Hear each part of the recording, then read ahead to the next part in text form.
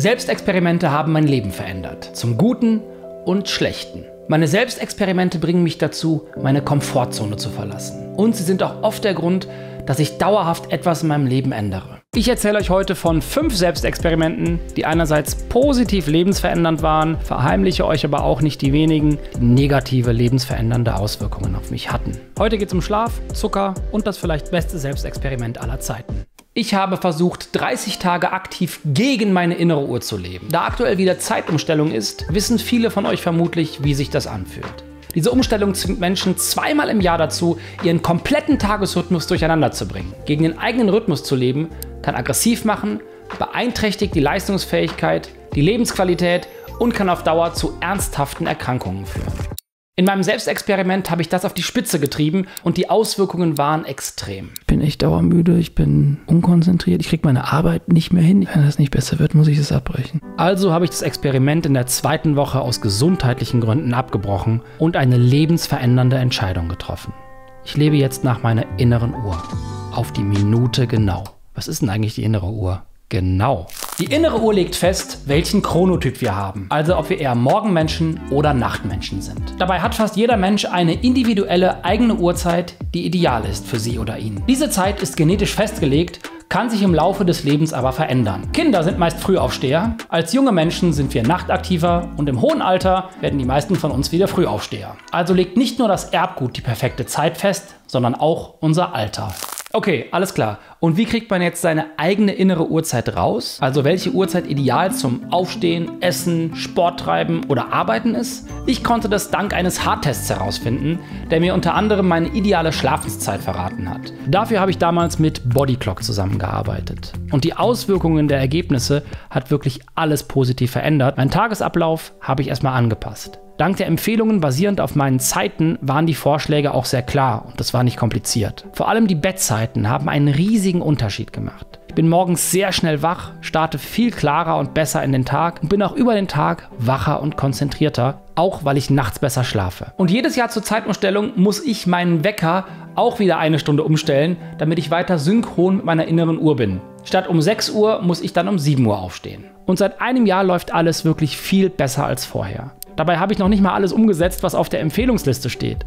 Ich nutze also immer noch nicht das ganze Potenzial, aber das, was ich verändert habe, hat mir sehr geholfen. Nicht besonders geholfen hat mir ein anderes Experiment und ich leide bis heute tatsächlich unter den Konsequenzen davon. Ich habe einen Monat lang 400 Stunden gearbeitet und das war der Horror. Das gesamte Video war für viele von euch ein Weckruf bezüglich der eigenen Arbeitszeit und viele von euch haben die Möglichkeit genutzt, die Arbeitszeit zu reduzieren.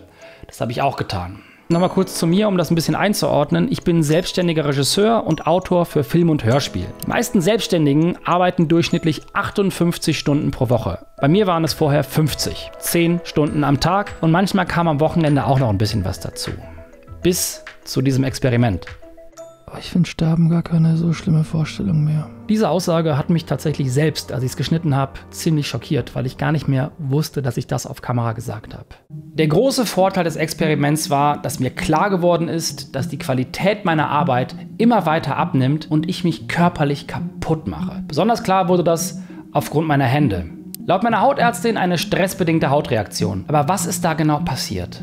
Bei übermäßigem Stress wird die Schutzfunktion unserer Haut beeinträchtigt. Das kann zur Porosität führen und dazu, dass mehr Feuchtigkeit aus der Haut verdunstet. Dadurch kann die Haut bei Stress vermehrt Spannungen, Rauheit, Schuppigkeit und sogar Trockenheitsfältchen entwickeln. Stress trägt somit zur Austrocknung der Haut bei. Bei chronischem Stress und emotionalem Druck wird der Zustand schlimmer und bleibt länger sichtbar. Und jetzt ein Jahr später sieht es langsam besser aus, aber es ist immer noch nicht ganz weg. Und in stressigen Phasen, und die gibt es in jedem Leben immer, zeigt sich diese Reaktion wieder. Seit dem Experiment habe ich regelmäßig Probleme an den Innenflächen meiner Hände und wenn es besonders schlimm ist, bricht die Haut da auch auf. Zum Glück ist das seit einem halben Jahr nicht mehr passiert. Die Hautstellen werden nur noch trocken, aber sie brechen nicht mehr. Insgesamt ist das hier das erste Mal, dass ein Symptom, das in einem Experiment auftaucht, danach nicht mehr verschwunden ist. Für mich war es daher umso wichtiger, langfristig den Stress zu minimieren.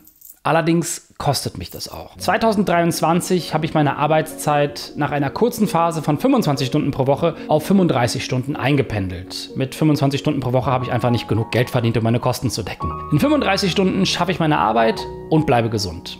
Allerdings verdiene ich auch spürbar weniger Geld, da ich weniger Aufträge annehme. Im Moment hält sich das aber alles ganz gut die Waage. Mega Stichwort Waage. Für meinen Körper war das nächste Experiment das Beste.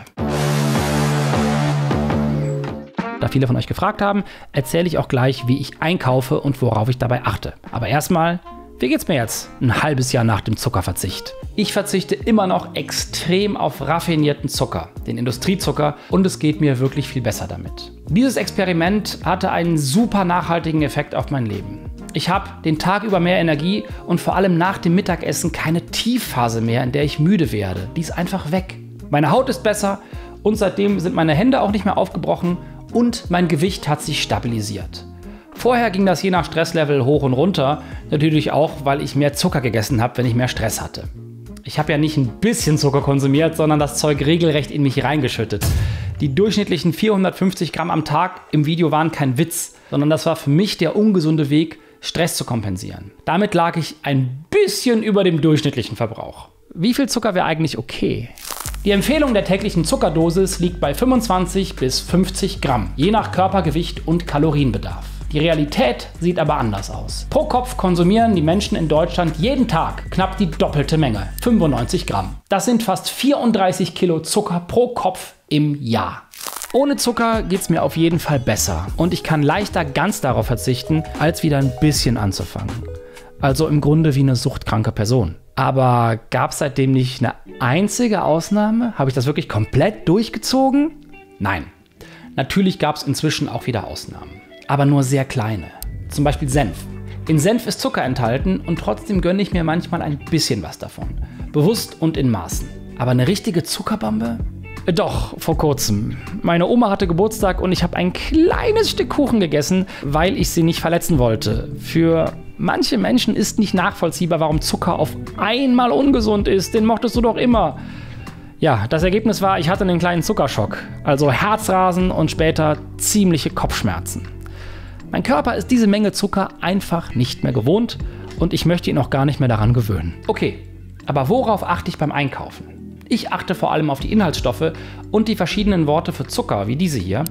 Steht das drauf, versuche ich Alternativen zu finden. Bei Senf hat das nicht geklappt. Da ist aber auch wirklich nicht viel Zucker drin. Ansonsten koche ich nur noch selber und vor allem damit. Pausiert gerne mal, das gibt's alles im normalen Supermarkt, zumindest bei mir. Ich habe durch den Zuckerverzicht vor allem besser kochen gelernt und meine Ernährung ist bunter geworden. Am Anfang kostet das alles ein bisschen mehr Zeit, vor allem wenn man auf jeden Inhaltsstoff gucken muss, aber dann geht es immer schneller. Ich kann auch sehr empfehlen, euch eine Liste zu machen, was ihr über die Woche oder besser den ganzen Monat essen wollt. Dann kauft man sehr viel bewusster ein und lässt sich nicht so sehr von seinen spontanen Lüsten leiten. Ich kaufe also keine Schokolade mehr oder irgendwelche kleinen Dinge oder eine Cola, die ich sonst gegriffen hätte. Bei der Arbeit trinke ich aktuell gerne Ocha Ocha. Das ist eine kleine unbezahlte Werbung an der Stelle. Das ist ein Startup von einem Freund von mir, die verschiedene Tees und Kaffees mit nur natürlichen Zutaten und ohne Zucker anbieten. Also, das ist wirklich eine super Alternative zu Softdrinks und allem anderen. Vielleicht ist der radikale Zuckerverzicht auch etwas für euch oder die gesunde Reduktion, hallo Senf, die ich nach wie vor durchziehe. Ich fühle mich viel klarer, präsenter insgesamt und müsste vielleicht nur mal wieder Nein, okay, auf keinen Fall. Ich muss das nie wieder machen. Also 30 Tage nicht aufräumen war derart belastend und die Studienlage dazu ist ja auch sehr klar. Aber ich wollte euch kurz mal meine Routine für die Ordnung mitgeben, weil das war für mich lebensverändernd. Nachdem ich einen Monat im absoluten Chaos und Müll gelebt habe, mein Gehirn und meine Psyche darunter gelitten hat, habe ich aufgeräumt. Der Raum ist so riesig! Was ist daran denn jetzt bitte so lebensverändernd? Die neue Routine. Und etwas, das ich als Room Reset kennengelernt habe. Mein Arbeitsplatz und meine Wohnung sind nie mehr krass durcheinander, weil ich jetzt immer nach der Arbeit und jeden Abend vor dem Schlafen gehe alles auf Reset stelle. Heißt, alles hat einen festen Platz. Für meine Kameratechnik habe ich dafür einen extra Koffer gekauft. Da muss alles rein. Das hat einerseits dabei geholfen, auszusortieren, denn alles, was ich nicht regelmäßig benutze, wird entweder verschenkt oder soll ich es doch mal ab und zu brauchen, bekommt es einen festen Platz im Schrank. Und andererseits ist mein Arbeitsplatz nicht mehr voller Zettel und Briefe. Nach der Arbeit wird alles aufgeräumt, damit ich morgens nicht ins Chaos, sondern in Ordnung komme, die mein Gehirn auch braucht. Alles hat seinen Platz und mein Kopf beschäftigt sich nicht mit der Unordnung, sondern hat Raum für die Kreativität, von der ich beruflich ja auch sehr abhängig bin. Nur diese Schublade muss ich noch in den Griff bekommen. Das äh, ist noch nicht gut organisiert. Mein privates und berufliches Leben hat sich durch diese neue Ordnung wirklich stark verändert. Ich hätte nie gedacht, dass ich mal ordentlich werde. Ich dachte immer, kreatives Chaos ist so mein Weg. Aber das stimmt nicht. Morgens an einem aufgeräumten Schreibtisch und abends in einem aufgeräumten Wohnzimmer zu sitzen, entspannt mich ungemein. Und das macht auch Sinn. Eine Studie an der Princeton University ergab, dass eine unordentliche Umgebung die Konzentrationsfähigkeit negativ beeinflusst. Der Geist wird von Unordnung abgelenkt, was zu Stress und Leistungseinbußen führen kann und auch richtiges Entspannen verhindert. Das hier wären übrigens meine fünf Tipps, falls ihr mit dem Aufräumen anfangen wollt. Und für alle, denen das hier nicht reicht, habe ich ein geheimes Video verlinkt, in dem ich erkläre, nach welchem Prinzip ich aussortiere und aufräume, ist in der Videobeschreibung. Ja, wenn ich jetzt keinen Bock habe aufzuräumen, ja, das kommt natürlich vor. Dann mache ich Speed aufräumen. Ich mache den Soundtrack von Wave Race 64 an und lasse die ersten drei Songs durchlaufen, um alles zu erledigen. Das sind viereinhalb Minuten. Und was ich nicht geschafft habe, bleibt liegen. Aber ich schaffe meistens wesentlich mehr, als wenn ich mich zwingen würde. So habe ich wenigstens Spaß dabei. Aufräumen ist jetzt eine tägliche Gewohnheit geworden. Und vor fünf Jahren wurde etwas anderes auch zur Gewohnheit. Ich habe Spotify gekündigt und jeden Monat nur ein einziges Musikalbum gehört und nichts anderes. Das hat dazu geführt, dass ich Musik bewusster wahrgenommen habe und mich intensiver mit den Stücken beschäftigen konnte. Das hat meine Liebe und Wertschätzung für Musik verstärkt. Und bis heute nutze ich kein Spotify mehr. Aber was war daran jetzt so lebensverändernd? Es war mein erstes Selbstexperiment. Das erste Mal, dass ich dieses Format ausprobiert habe.